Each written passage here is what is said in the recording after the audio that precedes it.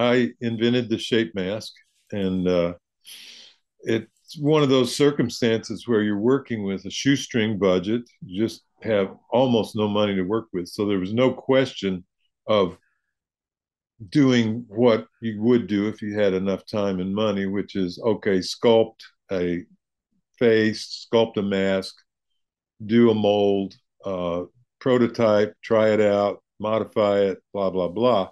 No, I had to go out, go shopping, find a likely blank face type mask because that's what the script was asking for, and uh, adapt it in some way. Well, obviously, Tommy, you don't have superpowers. You can't see into the future at this time, but now a mask that you created is pretty much the most popular mask in the world. It's on shelves. It's pretty much the face of Halloween. How does that feel for you? Just being a monster kid and now like you have the monster mask.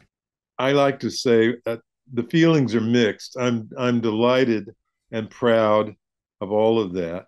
I'd be even happier if I was making a little money on the thing. I'd a penny for every mask that was out there. I'd probably be able to send my grandchildren to college.